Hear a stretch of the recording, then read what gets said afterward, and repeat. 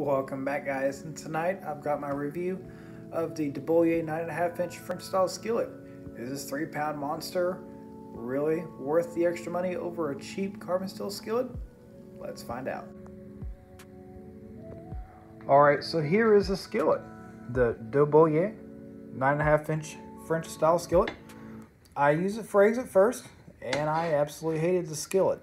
Even to this day, it not, it's not good with me as far as frying eggs.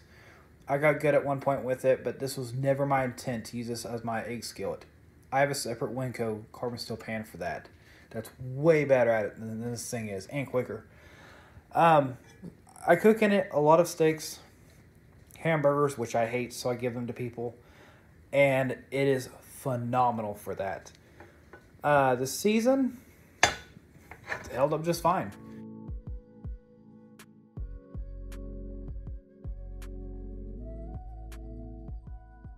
Actually did, did a uh, touch-up season tonight, of course. But whenever you cook with red meat, it will darken much quicker. And this season has held up very well. Um, so with that said, that's kind of my time with it. I've had it for, I believe, about two months now. And uh, there for the first couple weeks, I really didn't use it. I was busy with other things. But honestly, this is a really great pan. I will definitely buy it again. So with that said, let's get on to the test. Alright guys, see I've got my skillet one warmed up for the egg test. I'm gonna put the butter in, see it melt, and uh, we got the, the eggs, the butter melted in there. Uh, this is not my egg pan ever. I was good at making eggs in it at one time, when I first bought it. I use it for searing everything. I have an actual egg pan for that. So if or when this egg actually sticks, um, I'm hoping it doesn't stick. But if it sticks, I'm not going to be surprised. Um, it is purely going to be technique on me because I've actually seen people use unseasoned carbon steel skillets and and it doesn't stick.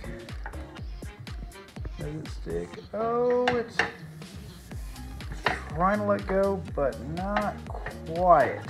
We'll let it cook a little more, see if it's still stuck a little bit.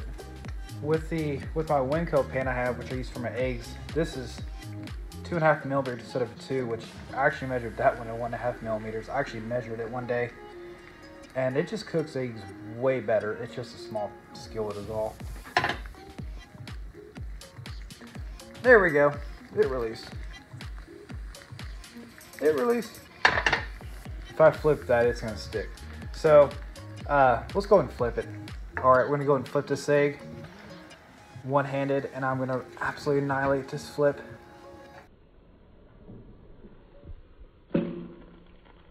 All right, so we'll let that sit for just a minute.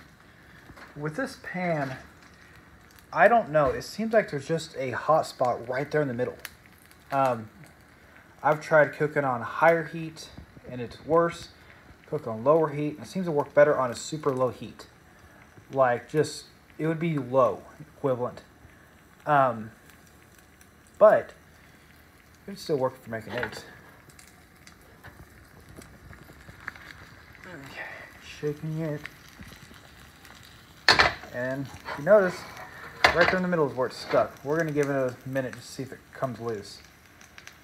If, if you like I said, if you watched my uh, my Winco review, you would know that the the egg test was already done because it never stuck at all.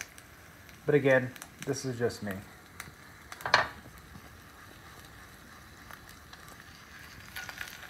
There we go. Yeah. So as to be expected, it was a fail.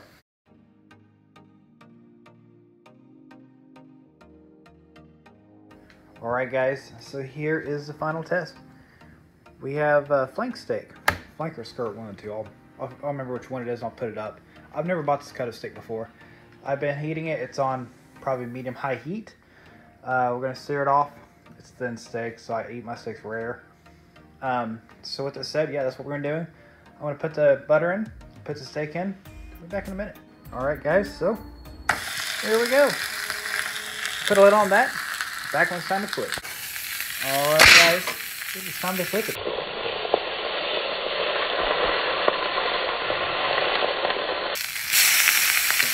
Not a bit of sticking. Alright guys, so six should be done.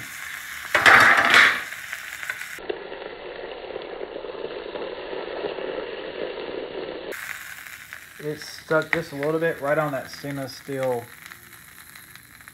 rivet. Yeah, rivet. But that's to be expected, of course, because that's not seasoned. With that said, let's go ahead and take a look at the pan. Beautiful. Like I said, nothing stuck at all. So, with that said, guys, that is going to be my review of the de Buyer 9.5 inch French style skillet. If you got a question for me, put it in the comments. Anything you want to review or try, put it in the comments. With that said, thank you guys for watching. Have a great night.